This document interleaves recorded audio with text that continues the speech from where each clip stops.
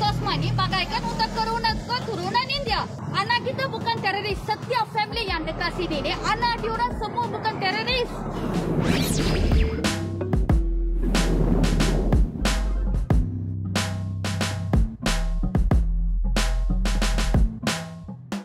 新上任的内政部长塞夫丁因为坚持保留国家安全罪行特别措施法令 SOSMA 引起争议。SOSMA 被扣者家属今天拉队聚集在国会大厦外头，哭诉未审先扣的法令让他们的生活陷入困境，呼吁部长塞夫丁三思。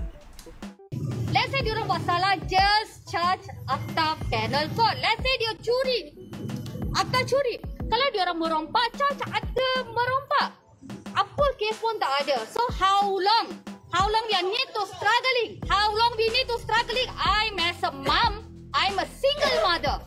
I got two more kids at home. How I'm going to survive everything? I need to look after the two of my boys inside the prison. Who going to be give me your money? Parents are struggling. Prime Minister kita, Dato Sri Anwar Ibrahim, kita percaya dan kita undi sebab kita nak dapatkan keadilan. Siapa yang ada anak-anak lagi, I think dia orang tak boleh duduk dekat Malaysia. Dia orang tak boleh duduk dekat Malaysia. Apa dosa kita? Apa dosa saya? Apa dosa-dosa semua orang dekat sini? Semua orang pendosa ke? Ada tak ada yang buat kesilapan ke? Masing-masing buat kesilapan. But we are not a terrorist in the Malaysia. We are Malaysian. We support the Malaysia. Kita tak cakap pun kita support organized crime. Tak.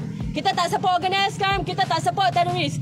Tapi tangkaplah orang yang betul dan biarlah kehakiman bahagian undang-undang kita yang tentukan siapa yang salah dan siapa yang betul. Dan bukan tahan mereka sampai 2024 macam ni.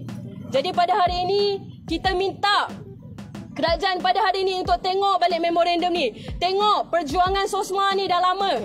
Datuk Seri Saifuddin sepatutnya lebih tahu bagaimana mereka dahulu sendiri yang fight untuk isu Sosma. Dan pada hari ini, hari ini untuk dia katakan Sosma tak nak dilihat dalam keadaan ini saya rasa salah. Dia sepatutnya dapat mandat kena terus tengok undang-undang ni. Buka ruang kepada NGO, buka ruang kepada family untuk dengar. Sebab suara bukan hanya kita terima kes ni. Kita terima kes Sosma ni daripada 2012 lagi. Dan tak ada pun isu race hanya orang India, isu orang Melayu pun ditahan bawah Sosma. Siapa-siapa pun boleh ditahan bawah Sosma. Dan isu ni dah lama. Kita soalan yang ditimbulkan adalah bahawa adakah perkara ini sepatutnya penahanan tanpa bicara itu patut diteruskan atau tidak. So isu ini adalah isu yang berbeza. Bukan tentang apa jenayah yang telah dilakukan. Isunya adalah penahanan tanpa bicara. Adakah ia perlu diteruskan?